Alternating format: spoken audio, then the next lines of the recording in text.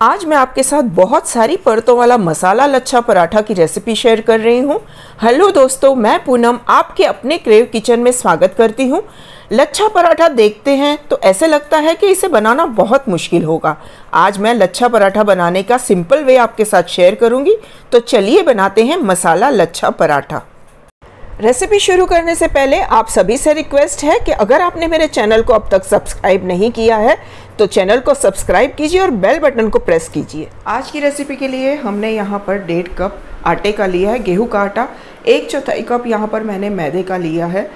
एक चम्मच यहाँ पर लाल मिर्च का लिया है। एक बड़ा चम्मच कसूरी मेथी ली है। आधा चम्मच यहाँ पर मैंने हल्दी पाउडर लिया है।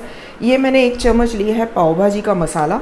साथ ही में आधा चम्मच यहाँ पर जीरा पाउडर लिया है, भुना हुआ जीरा पाउडर है। एक चम्मच धनिया पाउडर लिया है, एक चम्मच हमने सफ़ेद तिल लिए हैं। यहाँ पर एक चम्मच हमने कलौंजी के लिए हैं। एक उबला हुआ मैंने आलू लिया है, उसे मैंने ग्रेट कर लिया है। यहाँ पर दो चम्मच हमने ऑयल के लिए हैं, नमक अपने ज़रूरत के हिसाब से यूज़ करेंगे। और यहाँ पर हमने कुछ घी लिया है अपने पराठे को सेकने के लिए। तो चलिए बनाते हैं आज का हमारा लच्छा पराठा। तो सबसे पहले हम आटा ले लेते हैं। साथ ही में हम इसमें डाल देते हैं मैदा। इसमें हम डाल देंगे लाल मिर्च पाउडर, धनिया पाउडर, हल्दी पाउडर, कसूरी मेथी। कसूरी मेथी को थोड़ा सा मैंने हाथों में क्रश कर लिया था। ये हम डाल रहे हैं पाव भाजी मसाला। फ्रेंड्स यहाँ पर मैं पाव भाजी मसाला का यूज़ कर रही हूँ? इसकी जगह पे आप कोई भी अपना जो पसंद का हो मसाला आप यूज़ कर सकते हो। जैसे सांभर मसाला डाल सकते हो। आप इसमें मैगी का मसाला भी डाल सकते हो या गरम मसाला डाल सकते हो। ये हमने लिया है जीरा पाउडर, ये भी डाल देते हैं। और इसमें हम डालेंगे ऑयल मोहन के लिए। स्वाद के अनुसार इसमें हम नमक डालेंगे। और इसमें हम उबले हुए जो आलू हमने लिए हैं, वो भी डाल देते हैं। ये डालने से क्या होता है, हमारा पराठा जो है बहुत ही सॉफ्ट और अच्छा बनता है। तो हम क्या करेंगे, सबसे पहले ये जो ड्राई चीज़ें हैं, इन्हें सब सबको हम अच्छे से पहले मिक्स कर लेते हैं। उसके बाद हम इसे पानी डाल के गूँध लेंगे। तो सारे ड्राई इंग्रेडिएंट्स को हमने मिक्स कर लिया है। अब क्या करेंगे, इसमें पानी डालेंगे और इसका हम एक आटा बना लेंगे। तो थोड़ा थोड़ा करके पानी डालते हैं और साथ ही में इसे हम गूंदते जाते हैं। आटे को मैंने अच्छे से गूंद लिया है और इसे अब हम 10 मिनट के लिए रेस्ट के लिए रख देते हैं। 10 मिनट हो चुके हैं तो चलिए हम अपने आटे को ले लेते हैं और पराठा बनाना शुरू करते हैं। आटा बहुत अच्छे से बन चुका है तो चलिए इसमें से हम एक पेड़ा ले लेते हैं। जिस साइज़ को आपको पराठा बनाना है, उस हिसाब से आपने इसका पेड़ा लेना है। तो मैं इस साइज़ का बना रही हूँ। तो इस तरह से सूखे आटे में हम अपने पेड़े को रोल कर लेते हैं, अच्छे से, और इसकी हम एक बड़ी सी रोटी बना लेते हैं।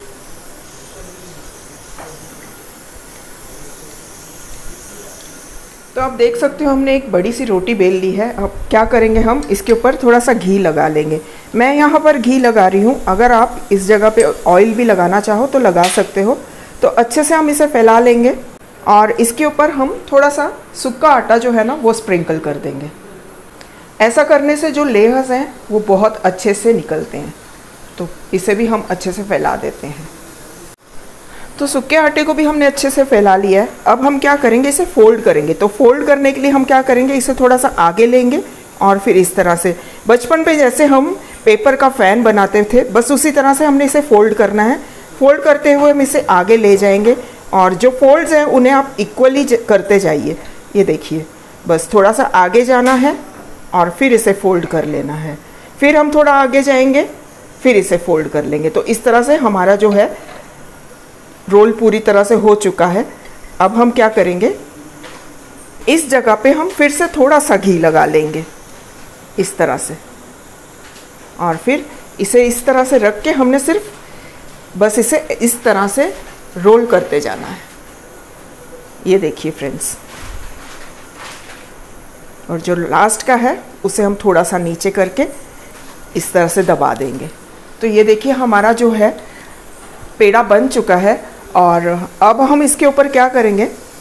इसे थोड़ा सा और अच्छा दिखे ये इसलिए हम इसके ऊपर क्या करेंगे? जो हमने कलौंजी ली है, वो हम इसके ऊपर स्प्रिंकल कर देंगे। और साथ ही में हम इसके ऊपर थोड़े से सफ़ेद तिल जो हमने लिए हैं वो भी हम इसके ऊपर स्प्रिंकल कर देते हैं। और बस, हमारा जो पेड़ा है, रेडी हो गया है। तो यहाँ पर हमने दूसरे पराठे को भी इस तरह से बड़ी रोटी में बेल लिया। उसके ऊपर हमने घी लगाया और थोड़ा सा हमने सूखा आटा जो है, वो छिड़क लिया। इसे अब हम फोल्ड करेंगे। वही तरीका है, बस थोड़ा सा आगे जाना है और फिर हम इसे इस तरह से दबा देंगे। फिर हम थोड़ा आगे जाएँगे। जैसे फ़ैन बनाते हैं, बस वही बचपन की यादें आप ताज़ा कर लीजिए।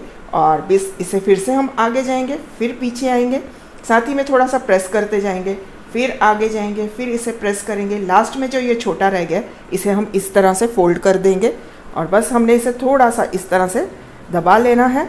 और यहाँ पर हम थोड़ा सा घी लगा लेंगे। ज़रा सा नाम के लिए लगाएँगे। और बस इसे फिर हम इस तरह से अच्छे से, बिल्कुल गैप नहीं रहना चाहिए, इसे अच्छे से हम रोल करते जाएँगे। ये देखिए, साथ ही में बिल्कुल इसको और ये जो लास्ट का पोर्शन है, इसे हम नीचे की तरफ़ दबा देंगे।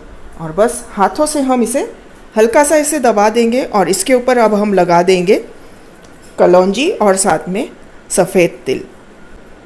तो इस तरह से सारे पेड़े जो हैं, मैं तैयार करके रख लूँगी और फिर एक साथ इन्हें बेल के हम सेक लेंगे। तो दोस्तों, हमने इस तरह से कुछ पेड़े बना लिए हैं। तो चलिए इन्हें अब हम बेलते हैं और सेक लेते हैं। इसे अब हम बेल लेंगे। तो फिर से हम थोड़ा सा सूखा आटा डालेंगे इसके ऊपर। इस तरह से। थोड़ा सा हम इस पेड़े के ऊपर डालेंगे और हमने इसे अच्छे से बेल लेना है। तवा हमने गरम करने के लिए रख दिया है। तो ये देखिए फ्रेंड्स, हमने इसे बेल लिया है। चलिए इसे हम तवे पे डालते हैं। तवा गरम हो चुका है तो हम क्या करेंगे? हमारे पराठे को जो तिल वाला साइड है, इसे ऊपर रखेंगे और इस तरह से इसे हम तवे पे डाल देते हैं सेकने के लिए। एक तरफ़ से ये सीख जाए, उसके बाद इसे टर्न करेंगे हम। तो चलिए इसे हम टर्न कर लेते हैं। पराठे को हम पलट लेते हैं और बस इसे अब हम घी लगा के सेक लेंगे। तो मैं इसके ऊपर घी लगा देती हूँ। घी लगा के इसे हम फिर से पलट देंगे और अच्छे से इसे हम सेक लेंगे। तो हम इस तरफ़ भी थोड़ा सा घी लगा देते हैं। और पराठे को हम पलट लेते हैं। ये देखिए फ्रेंड्स कितना बढ़िया सा हमारा लच्छादार पराठा बन के तैयार हो चुका है। पराठे को नीचे उतार के मैं आपको इसकी लेयर्स दिखाती हूँ कि लेयर्स कैसी बनी हैं इसकी। तो चलिए इसे हम उतार लेते हैं। लच्छेदार मसाला पराठा हमारा बिल्कुल रेडी हो चुके हैं। और ये देखिए, मैंने इसे अचार के साथ और कैरी के खट्टे मीठे मुरब्बे के साथ सर्व किया है। और पराठे हमारे बहुत ही बहुत ही प्यारे बने हैं। आप देखिए, इसके लेयर्स आपको दिख रहे होंगे। कितने लेयर्स इसके निकल के आए हैं। बहुत सिंपल है इन्हें बनाना। तो आप इसे ज़रूर एक बार ट्राई करना। इसे, इसके ऊपर हम बटर डालेंगे और इसे सर्व करेंगे। गरम गरम आप इसे अचार के साथ, मुरब्बे के साथ, किसी सब्ज़ी के साथ, किसी के साथ भी सर्व कर सकते हो। उम्मीद करती हूँ आपको ये पराठे की रेसिपी पसंद आई होगी। रेसिपी पसंद आई है तो एक लाइक ज़रूर कर देना और मेरे चैनल को सब्सक्राइब करके बेल बटन को ज़रूर दबाना, जिससे आपको मेरे अगले रेसिपी की नोटिफिकेशन सबसे पहले मिल जाएगी। फिर जल्द ही मिलेंगे एक नई रेसिपी के साथ।